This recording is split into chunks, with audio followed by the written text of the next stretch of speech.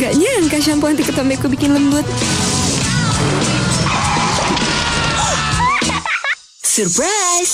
Sunsilk Double Care baru dengan Vitanol agar ketombe hilang dan minyak gandum agar rambut lembut.